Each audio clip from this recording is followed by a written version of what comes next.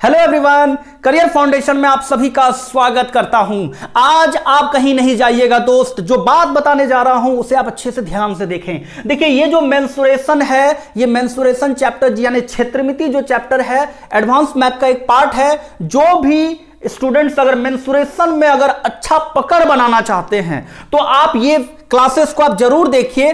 मैंने 27 वीडियो के थ्रू से ये मेंसुरेशन का टू डायमेंशन पार्ट को हमारे इस यूट्यूब चैनल में बिल्कुल फ्री प्लेलिस्ट पर डाला हुआ है, आप जाकर देख सकते हैं।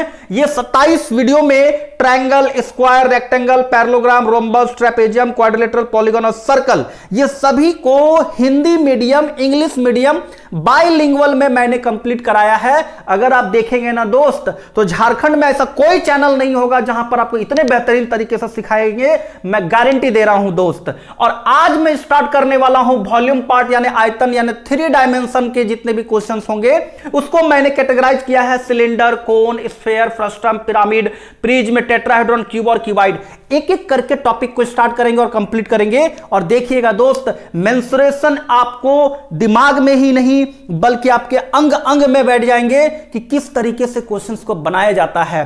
क्योंकि इतने इजी वे में मैं सिखाया हूँ, आप यकीन नहीं होगा तो ये जितने भी टॉपिक हैं, ये टॉपिक को प्ले पर जाकर के आप फ्री में दिया हुआ है, वहाँ पर प्ले पर जाकर आप सत्ताईस वीडियो सिक्वेंस में देखिए तो आपको पता चल जाएगा। और अगर आप हमारे अर्थमेटिक मैथ्स, एडवांस मैथ्स और रीजनिंग के कंप्लीट क्लासेस के वीडियोज़ देखना चाहते हैं तो आप हमारे पेड कोर्स में ज्वाइन कीजिए या फिर डेमो देखना चाहते हैं तो आप देखिए इस नंबर पे कांटेक्ट कर सकते हैं seven zero seven zero eight zero two triple eight. इस नंबर पे कॉल कीजिए तो आपको पूरा डिटेल्स दे दिया जाएगा कि कैसे आप हमारे पेड कोर्स में ज्वाइन कर सकते हैं, कैसे आप हमारे डेमो देख सकते हैं और आप हमारे जितने भी क्लासेस हैं, बिल्कुल बेसिक से हाई लेवल तक आप जाएँगे, घर बैठे बहुत अच्छे से तैयारी करेंगे। लेकिन चलिए, आज मैं आपको नमूना दिखाता हूँ कि कितने अच्छे से आप अपने घर पर बैठकर तैयारी कर सकते हैं। चलिए, आज मैं दिखाता हूँ सिलेंडर को स्टार्ट करने जा रहा हूँ। तो चलिए, स्टार्ट करते हैं सिलेंडर। अब देखिए, बहुत अच्छे से हम लोग सीखेंगे वॉल्यूम पार्ट। तो देखिए, वॉल्यूम पार्ट में हम लोग देखिए, इसका मतलब होता है आयतन, है ना? क्या है आयतन? पहले इसकी जानकारी होनी चाहिए। तो देखिए, जैसे पहले टू डायमेंशन में क्या था ना, कि क्षेत्रफल था। जैसे मान लीजिए कि सर्कुलर शेप का था स्क्वायर शेप का था रेक्टेंगुलर शेप का था, है ना? तो ये प्लेन सरफेस पे था टू डायमेंशन था, है ना? तो जैसे एरिया निकालना होता तो ये पूरा एरिया निकालते थे। है ना, ये पूरा एरिया निकालते थे, ये पूरा एरिया निकालते थे। तो इसका जैसे लेंथ इंटू ब्रेथ इसका साइड स्क्वायर हो गया, है ना, इसका पाई आर स्क्वायर हो गया। तो ये जो एरिया टू डायमेंशन पे था। लेकिन इसी के साथ अगर हाइट जुड़ जाए, है ना, इसी के साथ अगर हाइट जुड़ जाता है, अगर उसका ऊंचाई भी, लंबाई, चौड़ाई और ऊंचाई भी हो जाता है तो वो पार्ट जो हो जाएगा, फिर उसके अंदर कुछ क्वांटिटी आएगा। तो कुछ क्वांटिटी आएगा तो वो क्वांटिटी जिस, जो चीज़ हम लोग उसमें डालेंगे तो उसका आयतन पर डिपेंड करता है कि जो भी जो विसल होंगे तो वो उसका आयतन क्या होगा, है ना? जैसे मान लीजिए बाल्टी है तो बाल्टी का आयतन जितना होगा, उतना ही उसमें पानी जाएगा। तो वो आयतन निकालने के लिए हम लोग ये पार्ट पढ़ेंगे थ्री डायमेंशन पर। क्योंकि अगर दो डायमेंशन पर रहेगा तो उस पर तो कुछ भी डालेंगे तो गिर जाएगा। लेकिन जब इसके साथ हाइट के साथ अगर हम लोग इसका फिगर बनाते हैं, जैसे प्रिज्म हो गया पिरामिड हो गया क्यूब हो गया क्यूबाइड हो गया, है ना? कोन हो गया, ये सब चीज़, जितने भी है स्फेयर हो गया तो ये सब जो है सेप सिलेंडर हो गया, ये सब जितने भी सेप में है, इसमें क्या है? आपका ये जैसे सर्कुलर है स्क्वायर है रेक्टेंगुलर के साथ साथ हाइट भी है, जिसके कारण चारों तरफ़ से वो हाइट होने के कारण, घिरे हुए होने के कारण उसके अंदर पानी आ सकता है या कुछ भी मटेरियल डाल सकते हैं तो जो भी उस पर डालेंगे वो उसके आयतन पर डिपेंड करेगा। तो वही आयतन हम लोग यहाँ पर सीखेंगे। अब रही बात कि कितने अच्छे से कॉन्सेप्ट को पकड़ बनाना है, वो पहले समझिए। तो देखिए, सबसे पहला पार्ट हम लोग इसमें स्टार्ट करेंगे, वो है सिलेंडर ये कैसा शेप होता है? ये बेलन शेप जो होता है, ये बेलन, बेलनाकार जिसको बोलते हैं, जो भी वेसल होते हैं। जैसे मान लीजिए कि ये सिलेंडर है इस तरह से हम एक सिलेंडर बना दिए। ठीक है? ये सिलेंडर एक बना दिए। ठीक है? अब रही बात कि ये जो है इसको हम लोग बोलेंगे रेडियस। इसको बोलेंगे क्या? रेडियस। है ना? अगर पूरा रहता ये वाला तो डायमीटर हो जाता। यहाँ से लेकर के यहाँ तक क्या हो जाता? डायमीटर हो जाता। और उसी का हाफ़ इसी का हाफ़ जो है वो इक्वल टू रेडियस होता है। ये तो समझ में आ, आ गया होगा आपको। और ये जो है इसका हो गया हाइट ये भी रेडियस और ये हो गया हाइट ठीक है? अब यहाँ पर तीन फॉर्मूला आपके दिमाग में आएगा। एक होगा पहला वक्र पृष्ठ, यानी कर्व्ड सरफेस एरिया ठीक है? कर्व्ड सरफेस एरिया ठीक है? जिसको बोलते हैं वक्र पृष्ठीय क्षेत्रफल। वक्र पृष्ठीय वक्र पृष्ठीय क्षेत्रफल। ठीक है? वक्र पृष्ठीय क्षेत्रफल।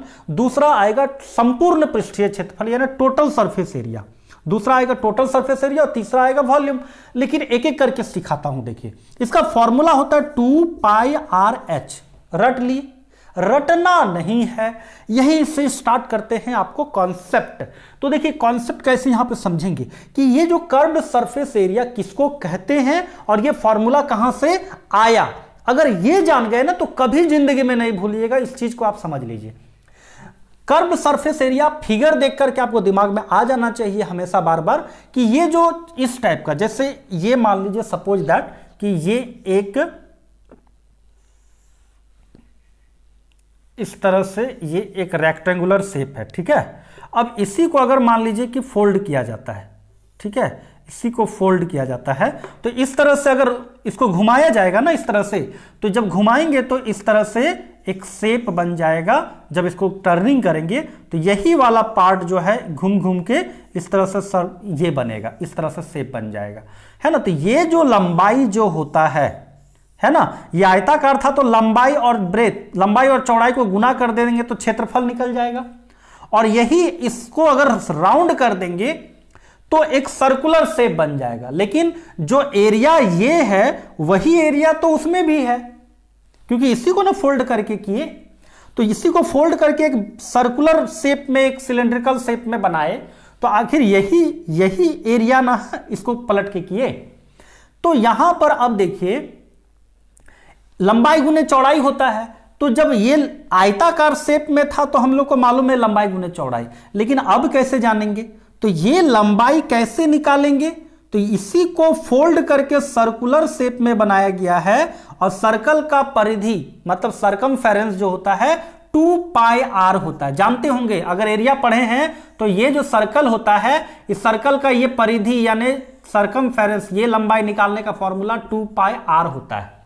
तो वही यहाँ पर अब समझिए कि टू पाई आर हम लोग ले लिए ये लंबाई को।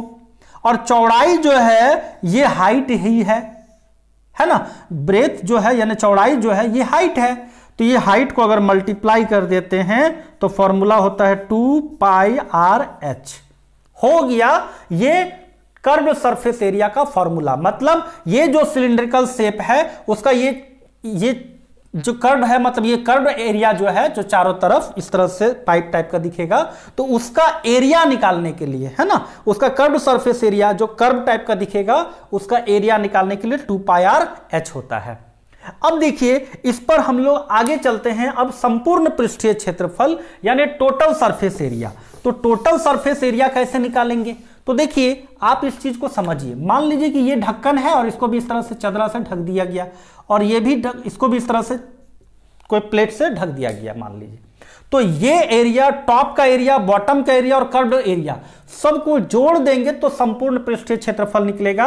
यानी दूसरा जो फॉर्मूला होगा total surface area total surface area equal to हो जाएगा, यानी संपूर्ण पृष्ठीय क्षेत्रफल, संपूर्ण पृष्ठीय क्षेत्रफल, संपूर्ण पृष्ठीय क्षेत्रफल बराबर हो जाएगा।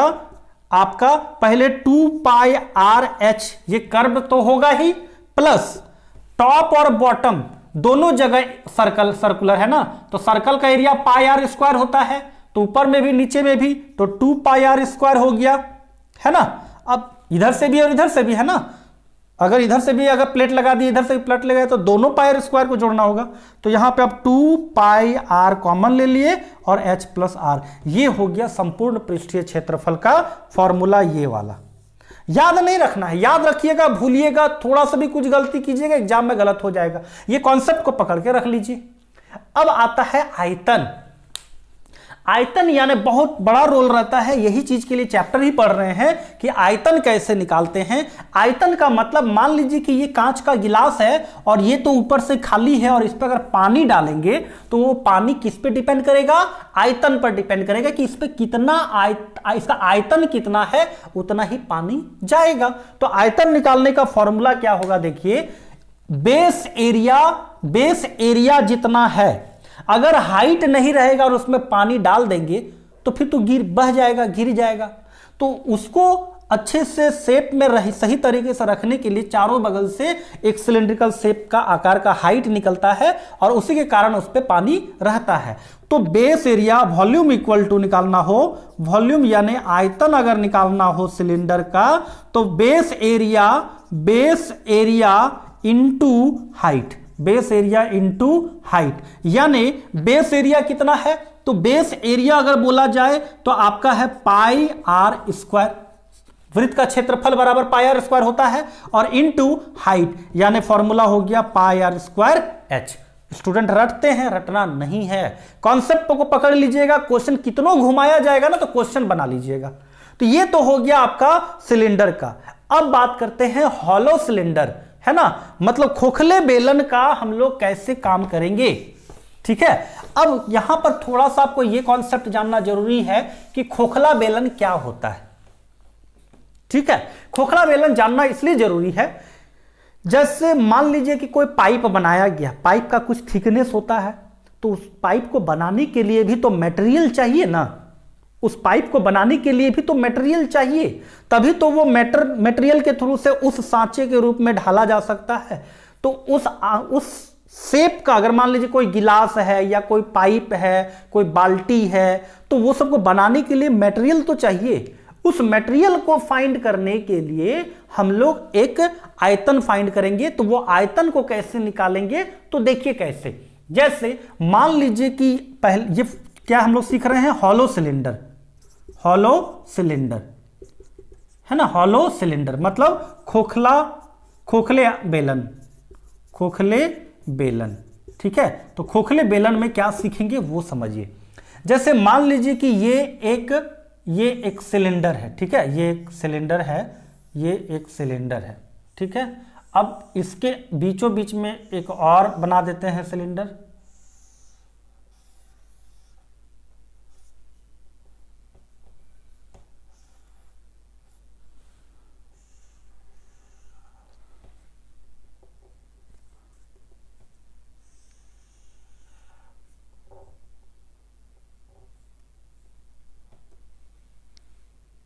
ठीक है?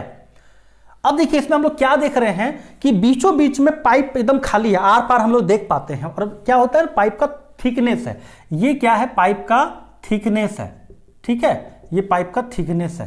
तो यही थिकनेस को हम लोग कैसे समझेंगे? तो यहाँ से लेकर के यहाँ तक को हम लोग क्या माने? Capital R. और यहाँ से लेकर के ये छोटा वाला, ये छोटा वाला को अगर बात करते हैं तो ये हो गया स्मॉल आर। है ना? तो थिकनेस क्या हुआ? R minus R. ये बड़ा वाला आर में से छोटा वाला आर को मैंने तो थिकनेस निकल गया ना, ये एरिया निकल गया। तो ये समझ में आ रहा है ना कि ये थिकनेस हो गया आपका। और अगर मान लीजिए कि कोई इसको बनाने के लिए अगर बोला जाए कि इस साच, इस तरह का शेप का अगर कोई पाइप अगर है, उसको बनाने के लिए कितना आयतन का ज़रूरत है? अगर उसका हाइट ये है रेडियस ये है, बड़ा वाला और छोटा वाला का तो आयतन बताना है तो वही चीज़ को निकालने सीखेंगे। समझ रहे हैं? चलिए। अब रही बात इसमें हम लोग पहला क्या सीखे? Curved surface area. Curved surface area हम लोगों का ये वाला आता है। तो कर्व्ड में क्या है? एक ये बड़ा वाला सिलेंडर हुआ, ये बड़ा वाला सिलेंडर हुआ और एक छोटा वाला सिलेंडर हुआ। तो बड़ा वाला सिलेंडर का एरिया फॉर्मूला हो गया टू पाई आर एच, बड़ा वाला का। है ना? तो फॉर्मूला क्या हम लोग सीख रहे हैं? वक्र पृष्ठीय क्षेत्रफल। पहला क्या जान रहे हैं? वक्र मतलब कर्व्ड। वक्र पृष्ठीय वक्र पृष्ठीय क्षेत्रफल। यानी curved surface area curved surface area curve surface area तो कर्व सरफेस एरिया का फॉर्मूला क्या हो गया?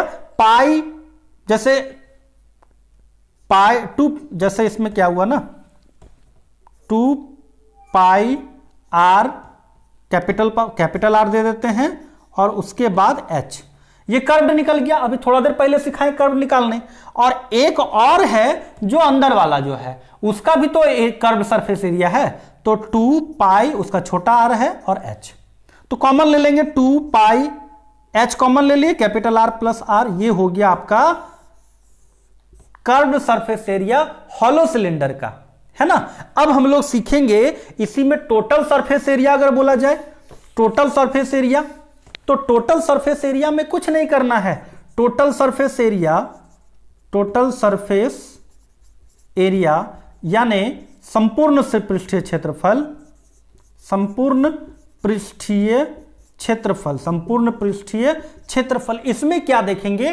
तो देखिए, संपूर्ण पृष्ठीय क्षेत्रफल का मतलब हो गया कि ये जो आप सिलेंडर देख रहे हैं, है ना? तो ये सिलेंडर का आप इस पे क्या कर सकते हैं कि जो संपूर्ण तो ये जो टॉप और बॉटम जो हम लोग नॉर्मल सिलेंडर में कर रहे थे, यहाँ पर तो ये खाली है।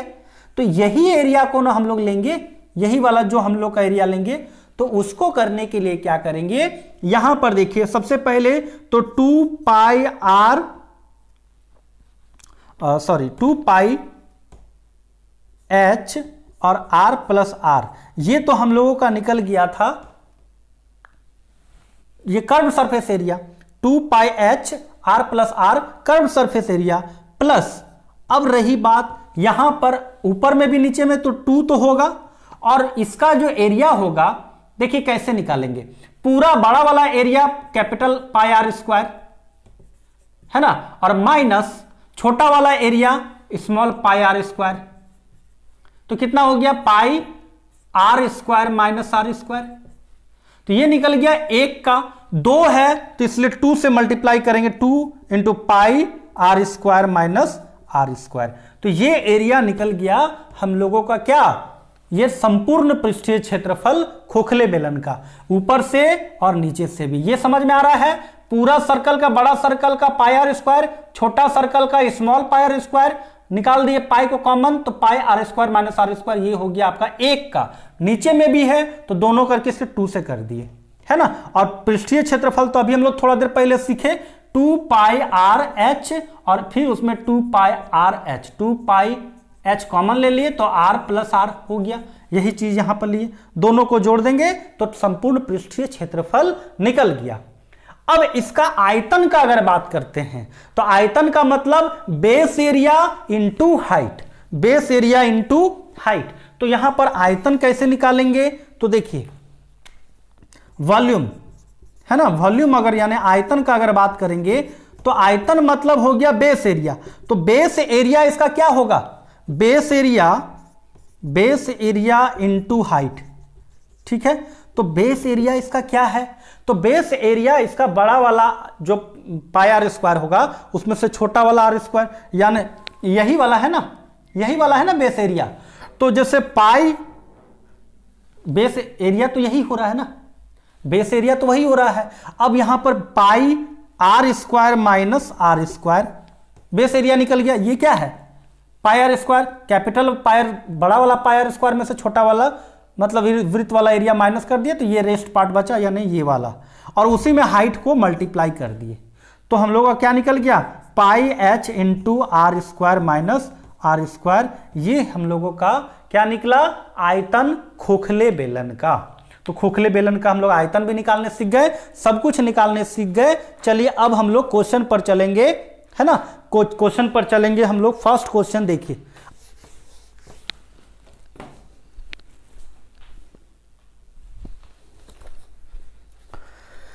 चलिए, पहला क्वेश्चन जो है, बहुत बेसिक है। पहला क्वेश्चन जो है, ये ये दिया हुआ है कि एक सात सेंटीमीटर लंबी लोहे की छड़, जिसका व्यास एक सेंटीमीटर तो आयतन ज्ञात करना है। है ना? अब यहाँ पर देखिए, ये एक सात सात सेंटीमीटर सात सेंटीमीटर लंबी एक छड़ है। छड़ जैसे सिलेंडर का शेप का है, ठीक है? तो छड़ जो होता है, रड जो होता है, वो सिलेंड्रिकल शेप का होता है इस तरह से। देखिए, समझिए इस चीज़ को। सिलेंड्रिकल शेप का होता है इस तरीके से। ठीक है? अब रही बात देखिए, अभी यहाँ पे तो शो करना सही नहीं रहेगा, अच्छे से नहीं शो कर पाएँगे, सिर्फ़ थोड़ा सा मैं इसको बड़ा सेव करके दिखा दे रहा हूँ सिर्फ़। यहाँ पे बोलता सात सेंटीमीटर लंबी तो ये हाइट हो गया सात सेंटीमीटर सेवन सेंटीमीटर उसके बाद बोलता छड़ का व्यास एक सेंटीमीटर अगर इसका व्यास मतलब ये व्यास होता है, पूरा यहाँ से लेकर यहाँ तक डायमीटर दिया हुआ है सेवन सेंटीमीटर नहीं sorry one centimetre one centimetre तो रेडियस हो गया वन बाई टू सेंटीमीटर हो गया। अब बोला गया है कि इसका आयतन तो वॉल्यूम का फॉर्मूला आप बहुत बेसिक से जानते हैं कि पाई आर स्क्वायर एच अभी आपको बताएँ। तो 22 बट्टा सात गुने one by two into one by two into seven seven seven cancel, दो से ग्यारह, यहाँ पे 5.5 5.5 सेंटीमीटर क्यूब होगा इसका आयतन। ये बहुत बेसिक था, इसलिए मैंने फ़र्स्ट क्वेश्चन बताया तो इसमें थोड़ा सा वॉल्यूम का फॉर्मूला को यूज़ कैसे करते हैं, वो मैं आपको सिखाया। ठीक है? अब देखिए, अगला क्वेश्चन देखिए, बहुत अच्छे से समझने का कोशिश कीजिएगा। एक एक करके पाँच क्वेश्चन सिर्फ़ आज देखिए और आपको पता चल जाएगा कि कैसे आप अच्छे से मैंसुरेशन को कमांड कर सकते हैं। ठीक है? चलिए। अब देखिए मेंसुरेशन को कैसे कमांड करने के लिए क्या करना सबसे पहले सेकंड नंबर क्वेश्चन को आप देखिए कि क्या है। बोलते एक बेलनाकार लोहे की छड़ 70 सेंटीमीटर है। है ना? अभी जो शेप मैंने बनाया, ये अब क्या है? 70 सेंटीमीटर का ये छड़ है, ठीक है? ये 70 सेंटीमीटर का ये लंबी छड़ है और दो सेंटीमीटर ये जो व्यास है ना, ये वाला जो व्यास, दो सेंटीमीटर का है, ठीक है? अब बोलते इसका वज़न क्या होगा? अगर एक घन सेंटीमीटर एक सेंटीमीटर क्यूब बराबर दिया हुआ है दस ग्राम। अब ये कॉन्सेप्ट को समझिए, ठीक है? दिया हुआ क्या? कि सत्तर सेंटीमीटर का एक छड़ है। इसका व्यास दिया हुआ है दो सेंटीमीटर का। अब यहाँ पे बोला एक सेंटीमीटर क्यूब, है ना? एक सेंटीमीटर एक सेंटीमीटर क्यूब बराबर दस ग्राम है। तो इस छड़ का वज़न क्या होगा? है ना, इस रॉड का वेट क्या होगा? अब आपके दिमाग में आएगा कि वेट और वॉल्यूम में क्या डिफरेंस है है ना? तो देखिए, वॉल्यूम का मतलब हुआ, आयतन का मतलब हुआ कि इसका कितना मटेरियल इसको बनाने में लगा। है ना? इसका मटेरियल को, कितना मटेरियल इसको लगा बनाने में, इसको तो पूरा ठोस है। अब इसको भरा गया है ना पूरा तो ये कितना मटेरियल लगा वो हो गया वॉल्यूम लेकिन इसका वेट अगर तोलेंगे तो कितना वेट होगा? तो इसका जो वॉल्यूम हुआ ना वॉल्यूम मतलब एक सेंटीमीटर क्यूब बराबर दस ग्राम हो रहा है। एक सेंटीमीटर क्यूब बराबर दस ग्राम हो रहा है तो ये छड़ कितना सेंटीमीटर क्यूब है? जितना सेंटीमीटर क्यूब होगा, उसको इससे गुना कर देंगे तो वेट निकल जाएगा। तो सेंटीमीटर कितना होगा क्यूब, उसको वॉल्यूम पहले निकालेंगे यानी आयतन बराबर होगा, आयतन होगा आपका पाई आर स्क्वायर एच, यानी बाईस बट्टा सात गुने इसको हम लोग क्या करेंगे? रेडियस तो वन ये तो डायमीटर दिया हुआ था ना। Radius equal to one centimetre यानी one into one into height दिया हुआ सत्तर। इसको हम लोग क्या करेंगे? सात से दस बार में, यानी 220 सेंटीमीटर क्यूब हो गया वॉल्यूम अब इसी को वेट में बदलेंगे तो 220 को हम लोग एक सेंटीमीटर क्यूब बराबर 10 ग्राम तो 10 से मल्टीप्लाई किए। तो टोटल इतना ग्राम।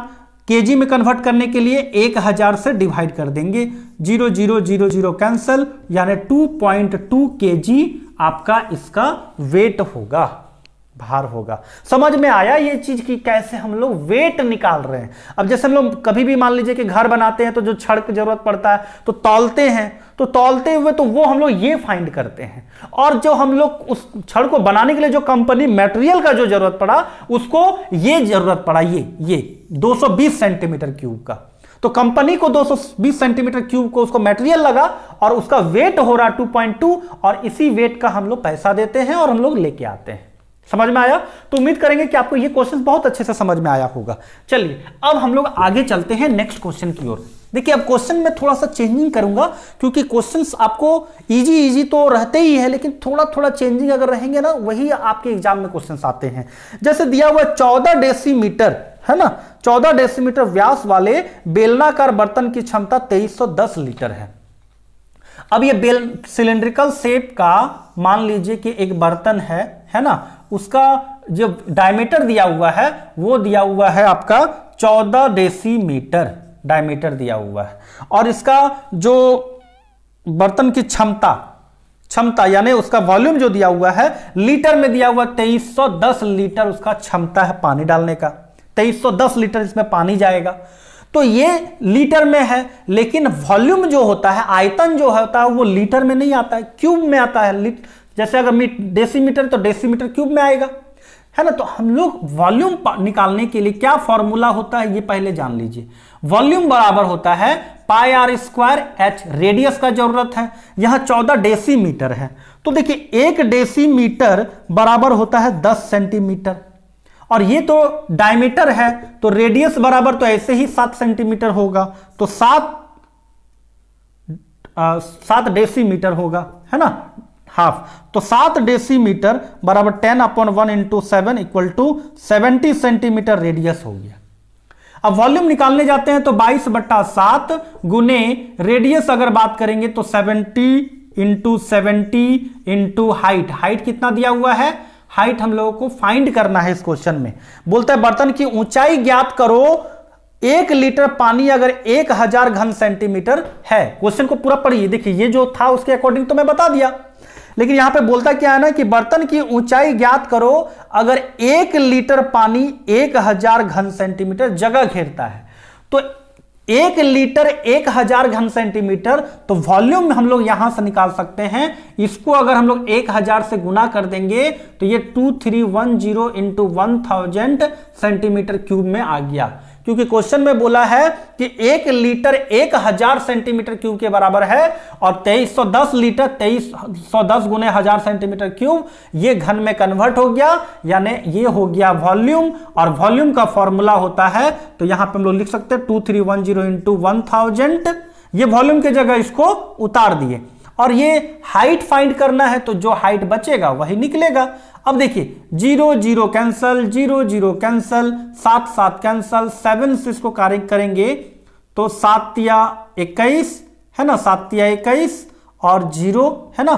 फिर ग्यारह दुने बाईस, ग्यारह तिया तैंतीस ज़ीरो फिर दो से इसको करेंगे तो पचास, यानी पंद्रह, यानी एक सौ पचास। हाइट इक्वल टू एक सौ पचास। ये सेंटीमीटर में आएगा क्योंकि सेंटीमीटर में है। अब रही बात कि क्वेश्चन तो डेसीमीटर में था ना तो डेसी, ऑप्शन के अकॉर्डिंग देंगे। तो एक डेसीमीटर बराबर 10 सेंटीमीटर तो यहाँ पे सेंटीमीटर डेसीमीटर में कन्वर्ट करेंगे तो 150 अपॉन टेन, यानी 15 डेसीमीटर। ये हो गया। तो यही छोटा छोटा कन्वर्ट करने आना चाहिए। है ना? ये वाला जो है ना, ये सब याद होना चाहिए। यही सब एग्ज़ाम में दे देता है। ठीक है? चलिए, यही सब याद नहीं रहता स्टूडेंट को, जिसके कारण गड़बड़ हो जाती है। अब जो एक क्वेश्चन दे रहे हैं, वो भी देखिए एक दिमाग में रखने वाला चीज़ है। जैसे देखिए, अभी जो बता रहा हूँ।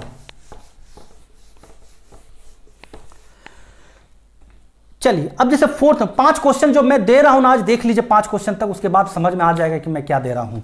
चौथा नंबर क्वेश्चन देखिए, बोला गया है, एक बेलनाकार टैंक का व्यास 24.5 सेंटीमीटर ये एक बेलनाकार टैंक है मान लीजिए, ठीक है? इसका व्यास दिया हुआ है ये व्यास ये व्यास दिया हुआ 24.5 सेंटीमीटर ठीक है?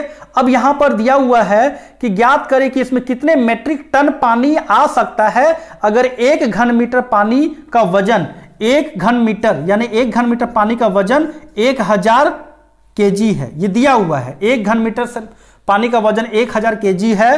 तो गहराई यानी 32 मीटर हाइट 32 मीटर हाइट का जो सिलिंड्रिकल अगर बर्तन जो है सिलिंड्रिकल विसल है तो इसमें बोला गया कितने मेट्रिक टन पानी आ सकता है। कितने मेट्रिक टन पानी आ सकता है। तो पहले इसका वॉल्यूम जो होगा वो आपका आ जाएगा मीटर क्यूब में। और मीटर क्यूब में दिया हुआ है कि एक हज़ार के जी तो देखिए, सबसे पहले इसका वॉल्यूम निकालते हैं।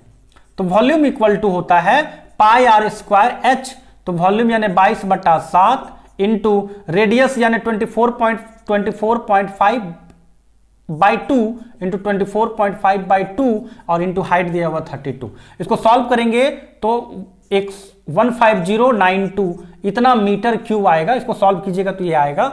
इतना मीटर क्यूब आपका आयतन निकल गया। और एक मीटर क्यूब बराबर दिया हुआ है एक हज़ार के जी लेकिन हमको केजी में नहीं बताना है मीट्रिक टन में बताना है। और याद होना चाहिए आपको कि एक मेट्रिक टन बराबर, जैसे एक मेट्रिक टन एक मेट्रिक टन बराबर होता है एक हज़ार के जी तो एक मीटर क्यूब बराबर एक हज़ार के जी और एक मेट्रिक टन बराबर एक हज़ार के जी तो हम लोग कह सकते हैं एक मीटर क्यूब बराबर एक मेट्रिक टन तो यहाँ पर मीटर क्यूब है ना तो इसको मेट्रिक टन में कन्वर्ट करना है.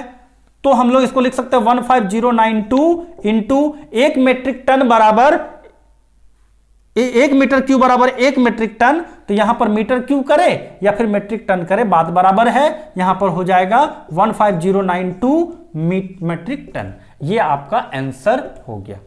तो ये आपको देखिए, एक मीटर क्यू अगर मान लीजिए कि एक मीटर क्यू बराबर दस मेट्रिक टन होता तो यहाँ दस से मल्टीप्लाई करते, है ना? तो ये आपको समझ में आ गया होगा कि कैसे हम लोग यहाँ पर किए। तो धीरे धीरे आपको बहुत अच्छे से सब कुछ समझाया जाएगा, क्लियर कर दिया जाएगा। फ़िलहाल आप समझिए कि ये कैसे हम लोग इसको सॉल्व किए। क्लियर? चलिए, अब हम लोग नेक्स्ट सवाल की ओर चलते हैं कि नेक्स्ट सवाल, बहुत अच्छा क्वेश्चन है। अभी देखिए नेक्स्ट सवाल को कैसे बनाते हैं।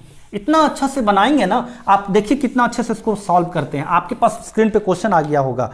बोलता है, एक बेलन के अर्ध व्यास तथा ऊंचाई का अनुपात फाइव इज़ टू सेवन है। तथा इसका आयतन चौवालीस सौ सेंटीमीटर क्यूब है। है ना? एक बेलन है, बेलन का अर्ध व्यास अर्ध व्यास मतलब रेडियस रेडियस त्रिज्या, है ना? त्रिज्या और हाइट यानी ऊंचाई, है ना? त्रिज्या और ऊंचाई का अनुपात दिया हुआ है, क्या दिया हुआ है? फाइव इज़ टू सेवन दिया हुआ है। इसका आयतन दिया हुआ चौलीस चौवालीस सौ, यानी वॉल्यूम दिया हुआ है, चौवालीस सौ दिया हुआ है। है ना? इसका अर्धव्यास कितना होगा? रेडियस फाइंड करना है। बहुत सिंपल है। बहुत सिंपल है। वॉल्यूम का फॉर्मूला क्या होता है? पहले ये जानिए। Pi R square H into चौवालीस सौ। अगर आर यहाँ पे तो रेडियस तो दिया ही नहीं है। रेशियो में दिया हुआ है। हम एक काम करते हैं। रेडियस का स्क्वायर इक्वल टू चौवालीस सौ और ये इसका बाईस बटा सात सात चला जाएगा ऊपर। बाईस से बाईस दूने चौवालीस, दो सौ। यानी R into R into height R square को R into R equal to two hundred into seven लिख सकते हैं। अब यहाँ से ट्रिक को यूज़ कर सकते हैं। ये देखिए, जब दो संख्याओं का गुणनफल रहता था तो दोनों को गुना करके डिवाइड करते हैं और उसका स्क्वायर रूट निकालते हैं तो एक हिस्सा निकलता है। ये problem based on age chapter में ये कॉन्सेप्ट को मैंने सिखाया हूँ, लेकिन फ़िलहाल जो नहीं जानते, वो जानिए कि जब मान लीजिए ये दोनों का गुणनफल रहता तो दोनों को गुना करके डिवाइड करते और जो निकलता, उसका स्क्वायर रूट निकालते तो वो होता एक हिस्सा। लेकिन यहाँ पर तीन संख्या हो जा रहा ना, यहाँ पर रेडियस रेडियस और यानी तीन नंबर हो जा रहा है five is to five is to seven तो इस तीनों का गुणनफल ये है तो तीनों का रेशियो को हम लोग गुना कर देंगे और ये 200 हंड्रेड इंटू सेवन है, ये तीनों का गुणनफल को इससे डिवाइड करेंगे। ये रूल है, इस तीनों का गुणनफल, अगर रेशियो टर्म में रहेगा तो उसका जब भी रेशियो टर्म में रहेगा तो रेशियो को हम लोग ये सबको गुना कर देंगे और यहाँ पर से डिवाइड करेंगे।